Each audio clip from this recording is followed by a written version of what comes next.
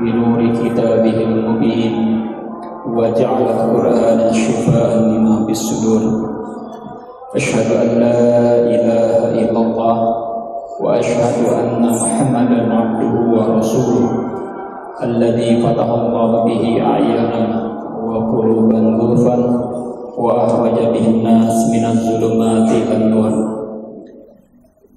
Allahumma salli wa sallim ala nabina karim Muhammadin wa ala alihi wa ashabihi asma'in Ayuhal hadiruna su'ada Ittaqullah haqqa tuqatih. Wa la tamutunna illa wa antum muslimun. Wabhamu ma qala Allah ta'ala bil Qur'anil karim. A'udhu billahi minasyaitanir rajim wa aqimus shalah wa atuz zakah al-ayah. Hadirin sidang Jumat yang dirahmati Allah. Alhamdulillah pada kesempatan ini seperti mengulang mukadimah kita panjatkan puji dan syukur kita semua telah berada di masjid yang mulai ini di waktu yang penuh berkah ini kita diamanahi amanah dan memenuhi panggilan Allah untuk melaksanakan salat Jumat kenikmatan terbesar mingguan yang didapat seorang muslim ketika hatinya terpanggil dan mau menuju masjid. Salat serta salam tercurah dan terlimpah kepada Nabi kita Nabi akhir zaman Nabi Muhammad Sallallahu Alaihi Wasallam. Lalu lupa mengulang amanah ajakan marilah kita menjadikan takwa sebagai bekal kita untuk kehidupan baik kehidupan di dunia maupun kehidupan di akhirat. Hadirin sedang jemaah yang dirahmati Allah. Hari Jumat adalah hari yang sangat istimewa. Bahkan Ibnu Katsir beliau hampir menyamakan kedudukan hari Jumat itu dengan hari raya Idul Adha, hari raya Idul Fitri yang harus disiapkan dengan serius bukan sebagai sampingan atau hanya sekedar untuk menyimpan mengalihkan rasa lelah. Penting kita ketahui agar di sisa hari-hari Jumat ini bisa optimal buat kita sehingga sampai asar dan maghrib nanti kita bisa mengoptimalkannya. Setidaknya Rasulullah memberikan 8 tips memanfaatkan Salah satu ibadah yang paling pokok yaitu ibadah sholat. Khususnya karena kita sekarang sedang berada di hari Jumat.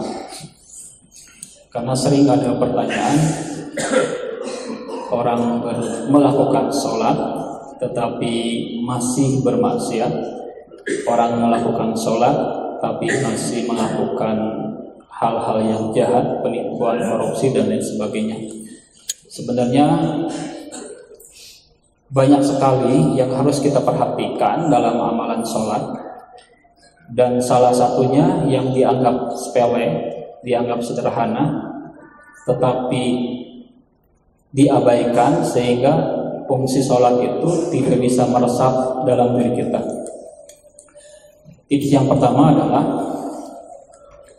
ada waktu namanya itu waktu aklimatisasi. Bahasa sekarang namanya prepare waktu persiapan. Ini adalah waktu yang disunnahkan oleh Rasulullah Wasallam sebelum melakukan aktivitas ibadah terkhusus sholat apalagi di, di hari Jumat.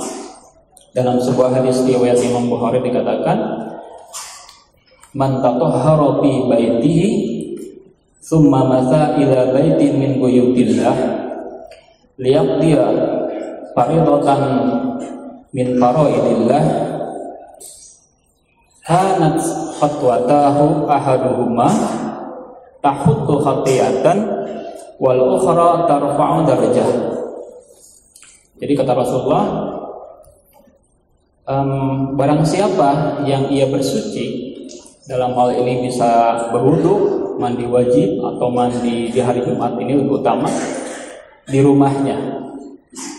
kemudian ia berjalan menuju rumah atau dia berjalan menuju di antara masjid Allah dengan niat untuk menunaikan kewajiban-kewajiban maka digaransi dalam hadis tersebut kedua kakinya itu akan mempunyai dua fungsi yang pertama kaki yang pertama setiap melangkah dijamin akan menghapus kesalahan kita Kaki yang kedua dijamin akan mengangkat derajat kita. Kita perhatikan tips ini syaratnya adalah pra ibadah. Orang yang ingin diangkat derajatnya, orang yang ingin dihapus pahala dosa-dosanya yang ada dalam diri kita, maka semestinya ia melakukan amalan sebelumnya jadi sebelumnya kita sudah wudhu sebelum azan. Sebelumnya kita mandi sebelum waktunya datangnya sholat. Sebelumnya, sebelumnya, sebelumnya sudah kita lakukan dengan optimal. Itulah salah satu rumusnya. Kita belum bicara tentang syarat sah, kita belum bicara tentang fikih lainnya, kita belum bicara tentang hikmah sholat yang lain. Baru satu aja.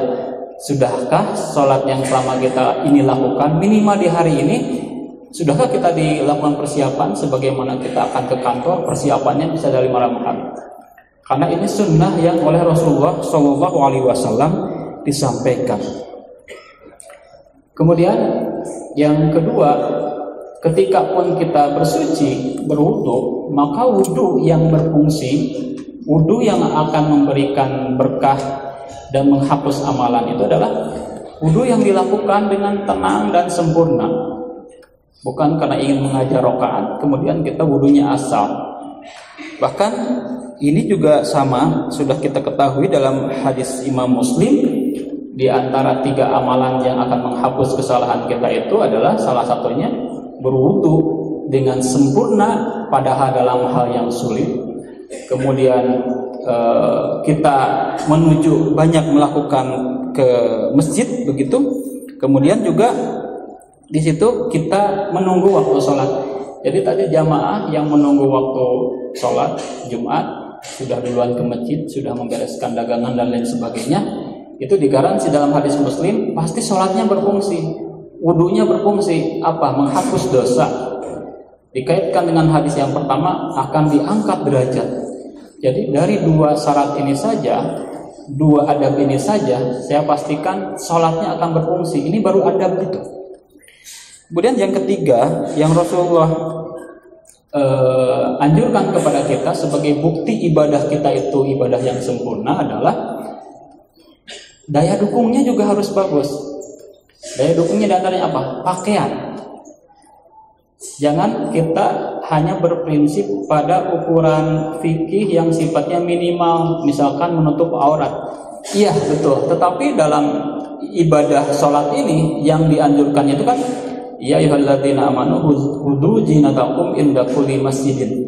Jadi kalau ini hari Jumat eh, hadirin sidang Jumat, pakailah pakaian yang terbaik hari ini. Pakailah wewangian, pakailah sesuatu yang harum sebagai bukti keseriusan kita bahwa kita ingin optimal ibadah di hari Jumat.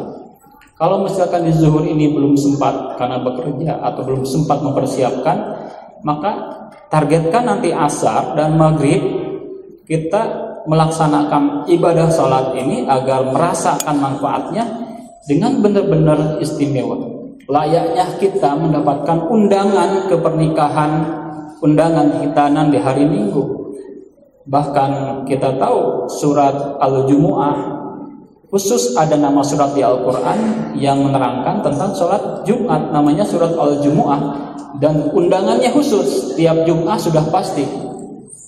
Kita diundang oleh Allah untuk menunaikan sholat. Maka selayaknya lah kita memakai pakaian terbaik daya dukung yang terbaik wangian sesuatu yang terbaik menurut yang kita punya sesuai kemampuan kalau tiga adab ini kita sepelekan saya kira tidak akan begitu maksimal fungsi yang kita harapkan begitu itu yang adab yang ketiga Adapun adab yang keempat ini sering juga kita sepelekan ketika terdengar azan. Dalam hadis dikatakan, "Idza sami'tumun nidaa faqulu mithla ma yaqul." Kalau kita mendengar azan, fayaqulu ma ya uh, apa? Pa, pa, yakul. Kalau kita mendengar azan Allahu Akbar Allahu Akbar maka wajib kita Allahu Akbar Allahu Akbar gitu. jangan sampai azannya azan berlalu kita ngobrol. Azannya azan yang berlalu kita malah tidak ingat terhadap panggilan itu. Kenapa? Kan ini sunnahnya seperti itu. Ada satu kunci rahasia dalam jawaban azan itu yaitu kunci di antara rahasianya adalah ketika menjawab hayya ala salah hayya ala falah apa yang kita ucapkan kita menjawab la haula wala quwata illa billah itu adalah kunci kepasrahan Ya Allah, ini sholat itu amalan terbaik, terindah, tapi terberat. Saya tidak akan mungkin bisa sholat ini tanpa daya, upaya dan ridomu. Maka itulah cerminan tauhid seseorang ketika azan kita katakan la haula wa la quwata illa billah. Ada satu hadis yang menerangkan terkait kata la haula wa la quwata illa billah ini. Itu ketika uh, disebutkan Barang siapa yang keluar, yang mana kharaja, ya. barang siapa yang keluar dari rumahnya begitu. Kemudian dia mengucapkan Bismillahirrahmanirrahim la maka ia telah satu ia telah diberi petunjuk. Yang kedua ia sesungguhnya telah dicukupi. Yang ketiga ia digaransi telah dijaga. Ini kan semua yang kita harapkan selama ini. Saya ingin tiap hari dikasih petunjuk. Saya ingin tiap hari dikasih uh, kecukupan oleh Allah. Saya ingin tiap hari dijaga. Inilah doanya. Bismillahirrahmanirrahim. Sampai setan yang satunya berkomentar kepada setan yang lain. Bagaimana engkau bisa mengganggu orang tersebut? Bagaimana engkau bisa menjerumuskan dia? Karena dia sudah berkata, Bismillahirrahmanirrahim. Ia telah diberi petunjuk, ia telah dicukup dan ia telah dijaga. Tapi kadang ada ada men, akhlak atau ada menjawab adzan ini men, e, memikirkan substansinya suka terlewat sama kita karena fokusnya saya saya tidak ingin ketinggalan rakaat. Masalah ketinggalan rakaat, masalah masbuk itu urusannya lain dan tidak apa-apa. Bahkan ketika masbuk pun Rasulullah menyuruh kita untuk tenang.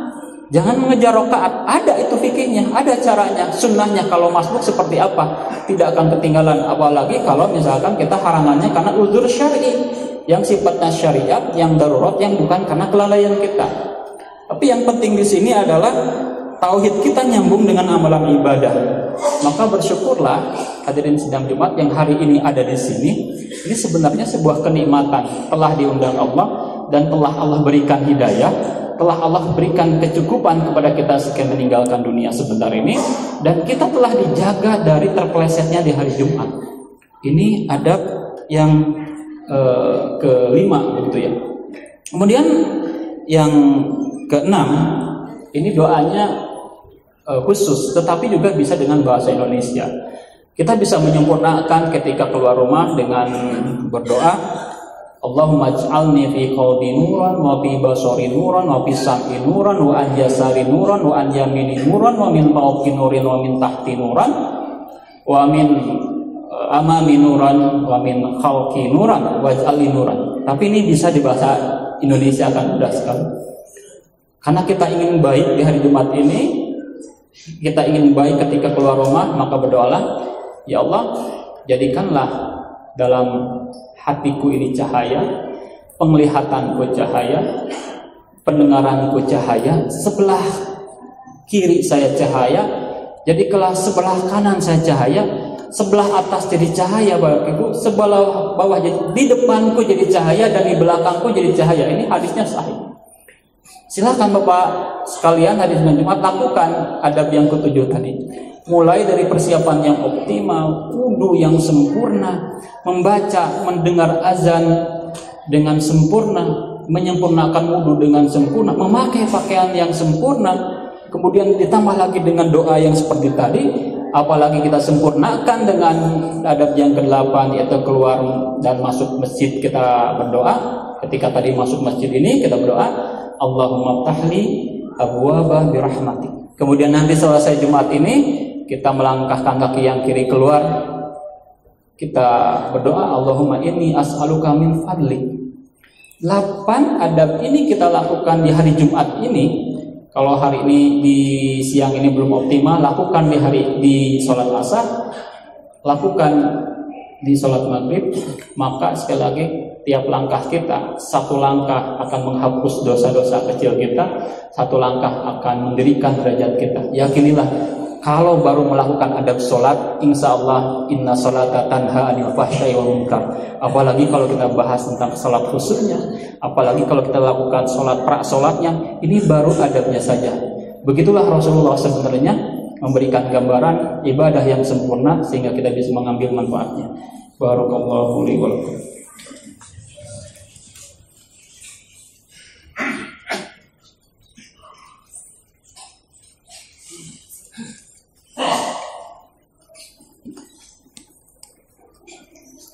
الحمد لله الحمد لله حمدا كثيرا طيبا مباركا على كل حال حمدا يوافي نعمه ويكافئ مزيدا يا ربنا لك الحمد كما ينبغي لجلال وجهك وعظيم سلطانك سبحانك لا نحصي ثناء عليك انت كما اثنيت على نفسك ولك الحمد اذا رضيت اللهم اني اسالك بان لك الحمد لا اله الا انت وحدك لا شريك لك المنان badi'as samawati wal ardi ya jalali wa ikram ya hayyu ya qayyum Inni as'aluka jannah wa a'udzubika minan.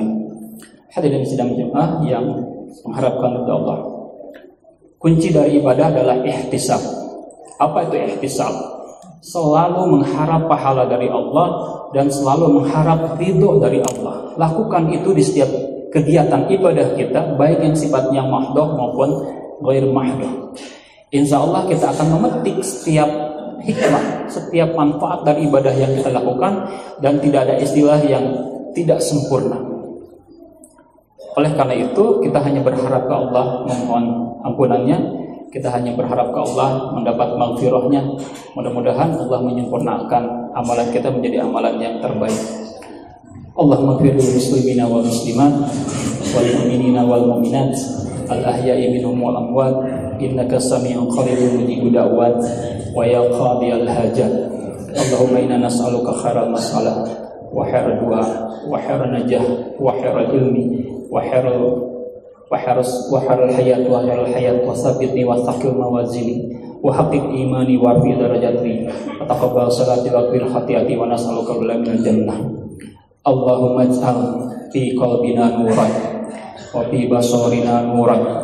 qil khati'ati wa nas'aluka billahi minal jannah Allahumma ij'al fi qalbina nuran wa fi basarina nuran wa fi sam'ina nuran wa an yasarina nuran وعن يميننا نورا ومن فوقنا نورا ومن تحتنا نورا ومن أمامنا نورا ومن خلفنا نورا واجعل لنا نورا